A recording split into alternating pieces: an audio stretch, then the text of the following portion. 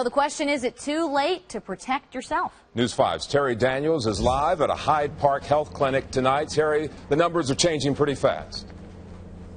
They are, as a matter of fact, Curtis, they are skyrocketing. For example, a lot of numbers here at the, uh, this is Doctors Express here in the Hyde Park, the urgent care. And consider this, about noon today, I was in northern Kentucky talking with health district officials. They told me the number at that time was 384. Well, by the time we got in the car, they came out, said they had new numbers. It had already jumped to 550. I was sick. I was pretty sick, really sick.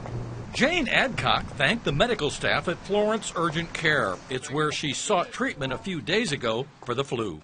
And then the sneezing, the cough, and the runny nose, the headache, the just the congestion, just achy all over. We are already seeing a big difference from last year's flu season. Dr. Lynne Saddler with the Northern Kentucky Health District says Jane has a lot of company. Last flu season, the total reported cases numbered 284. There have been 550 already this season. January, February, March are, are big months for flu. And so, since we have so many cases so early on this year, we're very concerned.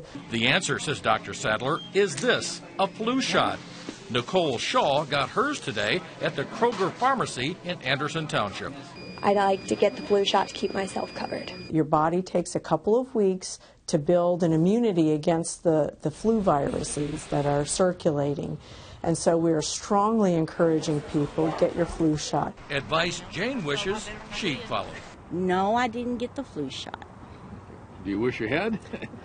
I'm thinking next year, yes, I will.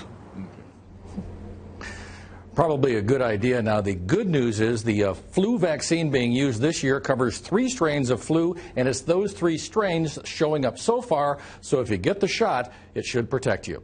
Reporting live in Hyde Park, Terry Daniels, News 5.